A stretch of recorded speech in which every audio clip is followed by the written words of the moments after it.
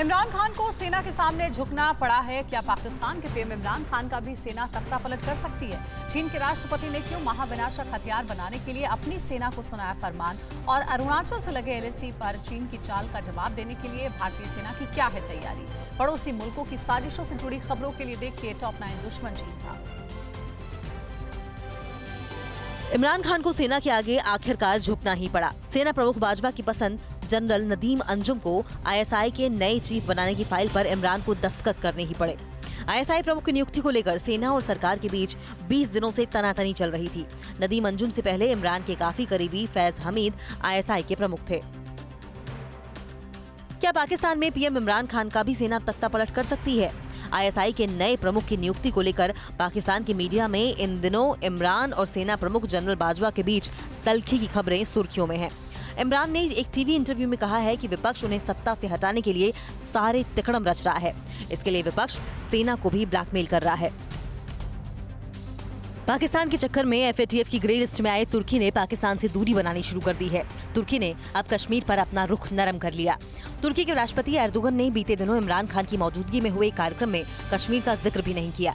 तुर्की ने हाल ही में कश्मीर के अलगाववादी नेता सैयद अली शाह गिलानी के निधन पर शोक संदेश भी नहीं भेजा था। चीन से लगी अरुणाचल प्रदेश की सीमा पर ड्रैगन के बॉर्डर डिफेंस विलेज के जवाब में भारतीय सेना भी मॉडर्न विलेज बनाने के काम में जुट गई है। एलएसी पर सेना अरुणाचल प्रदेश के साथ मिलकर तीनों गाँवों को मॉडर्न विलेज में तब्दील करेगी, जिससे चीन की हर चाल का मजबूती से जवाब दिया जा सकेगा। चीन पहले ही एलएसी पर कई ऐसे गाँव बसा चुका है। चीन अपने बेल्ट एंड रोड इनिशिएटिव परियोजना को और मज़बूत करने के लिए भारत के सिलीगुड़ी कॉरिडोर यानी चिकन नेक को भी तोड़ने की साजिश में जुटा है। सामरिक और व्यापारिक नज़रिए से इस अहम इलाके पर चीन की बहुत पहले से बुरी नज़र है। चीन इसी चाल को लेकर 2017 में डोकलाम में भारतीय जवानों से भिड़ा था। सिलीगुड़ी कॉरिडोर उत्तर पूर्व को भारत के बाकी हिस्सों से जोड़ता है। एलएसी विवाद को लेकर भारत और चीन के बीच बढ़ते तनाव से अमेरिका भी चिंतित और अलर्ट है। अमेरिकी रक्षा मुख्यालय पेंटागन ने कहा है कि चीन पड़ोसियों को धमका रहा है। पेंटागन के प्रेस सचिव ने कहा है कि शायद कोई भी नहीं चाहेगा कि हालात और ज़्यादा तनावपूर्ण हो। हालाँकि अमेरिका ने इसके साथ कहा है कि ये भारत पर छोड़ देना चाहिए कि वो चीन के साथ तनाव से कैसे निपटे।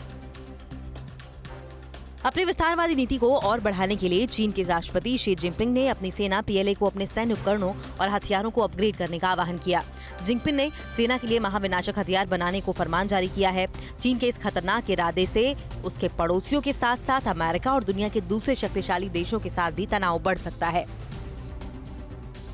हांगकांग में लोकतंत्र का गला दबाकर अपनी मनमानी करने वाला चीन अपने खिलाफ आवाज़ उठाने वालों के साथ क्रूरता कर रहा है। हांगकांग में आज़ादी के समर्थन में नारे लगाने को लेकर एक शख्स को चीन के राष्ट्रीय सुरक्षा कानून के तहत दोषी ठहराया गया। जिस शख्स को दोषी ठहराया गया, उसे कानून के तहत सात साल की सजा हो सकती है। सजा का ऐलान ग्यारह नवंबर को किया जाएगा।